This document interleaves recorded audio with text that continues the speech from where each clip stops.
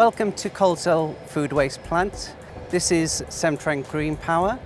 We actually process about 48,500 tonnes per annum of food waste and that's made up of solid and liquid waste from the area around Birmingham. Um, essentially we depackage that waste via a uh, hammer mill to make an AD soup. The AD soup is then uh, transferred and fed into digestion. This is anaerobic digestion where we produce methane. The methane quality is around 60%.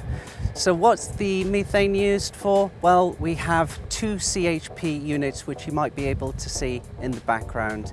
Both are about 1.2 megawatt units which is fairly standard Severn Trent design. We actually provide electricity for the sewage works, which we're actually located on, and we use about 20% um, of the electricity that we use. The remainder, which is about 40%, is exported to the national grid for use by domestic customers and commercial customers. As far as the product from the anaerobic digestion, we produce a liquid digestate. This is a good fertilizer. It's quite high in nitrogen. We actually recycle that to agriculture.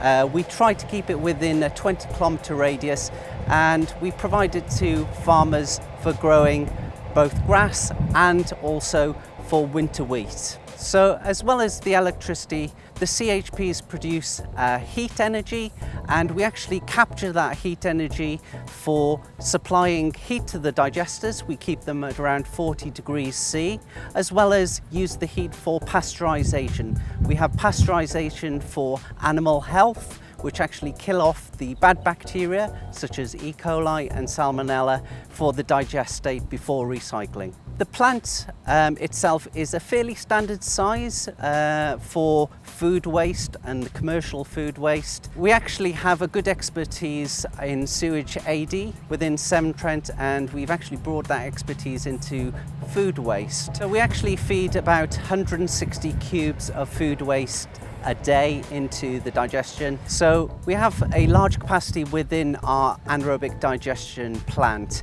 in which we can actually utilize a lot of the substrate it has a capacity of about 90 days retention time. And what that means is the bugs are able to actually digest the solids to produce as much methane out of the substrate as possible. Severn Trent have uh, gone into the food waste industry as part of their renewables obligations. And this forms about 2% of our renewables obligations. We're striving to increase that level to around 50% by the next five years. What that really means is that actually we're looking after the environment, we're reducing our carbon footprint, which is better for all our customers.